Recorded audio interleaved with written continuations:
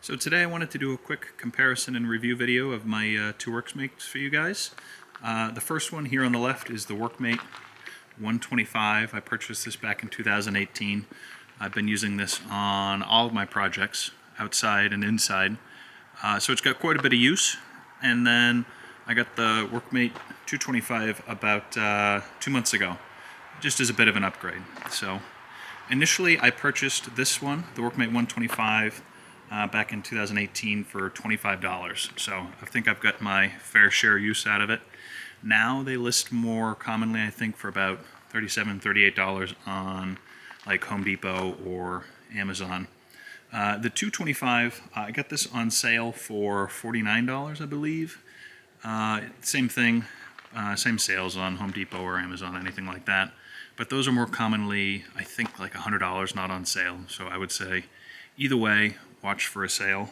Um, this one has been through the ringer. I broke the handles off and had to remake the handles. But it has been a great workbench all around.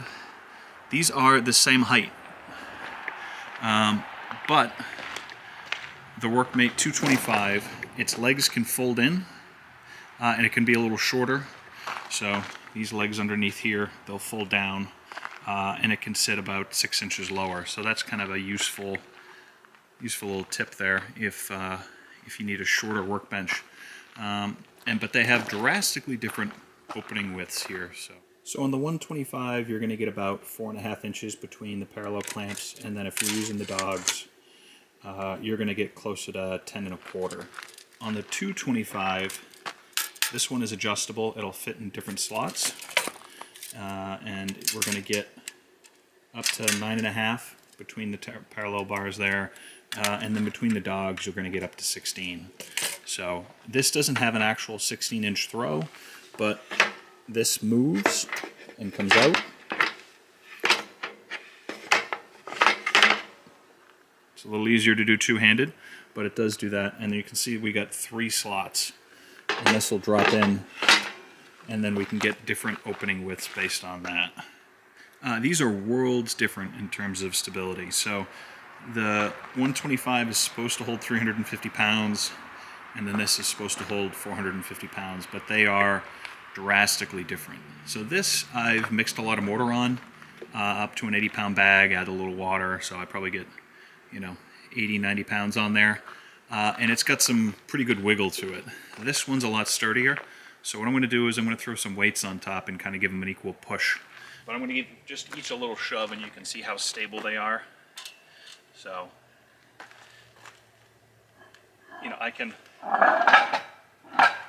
really push this guy around uh, nice and stable. This one, um, you know, you get some real good wobble. So uh, take that into account when you're looking for one or the other. This is a great kind of knock around, lightweight uh, workbench, I find.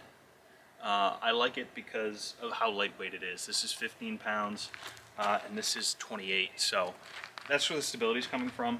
A lot more material here, nice and rigid.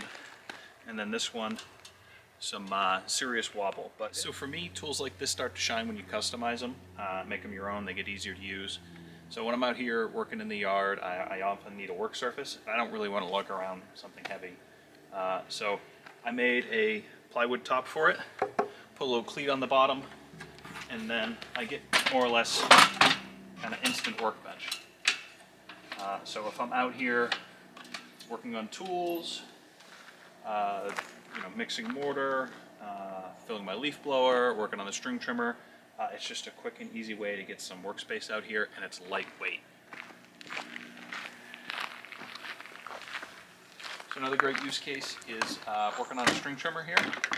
So this has a tendency to flop around and move all over the place. So a little speed clamp right on the handle. Uh, it works great. I can Now I can fill it up with gas and not worry about it moving all over the place. All right, in case anyone was debate buying one of these, light fluffy snow only. It uh, does not work great with anything else. But every once in a while we get a snowstorm that it does work good on, so you know, that's nice. Saves a little shoveling.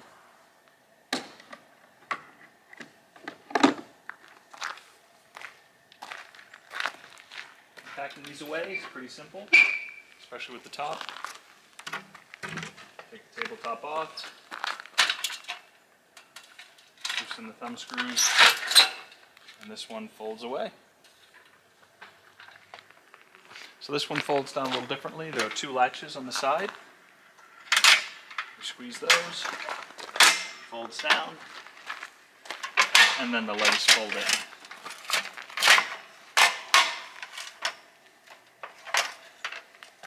And it's uh, pretty well balanced and easy to transport. So, so which one would I recommend? The WM125, the lighter weight of the two, has been uh, great for me outside in the yard. I've been banging around with it for almost five years now, uh, and it's held up pretty great for 25 bucks. For 37, uh, that's a little steeper, and I don't know that I'd go for that. Uh, the 225, uh, if you're doing woodworking, um, all the way. It's a lot more stable. It's pretty much the only thing I'd recommend if you're, um, you know, doing cutting and that kind of stuff on it. Uh, as a good workbench and lightweight, the 125 is great, but uh, with the prices being so close, if you can get the 225 on sale, definitely just wait for that. Uh, and that's what I'd go with. Hopefully this is helpful for you guys. Uh, if you use something similar, uh, leave me a comment. I'd like to know more about that. Or uh, tell me what you thought of the video. Thanks.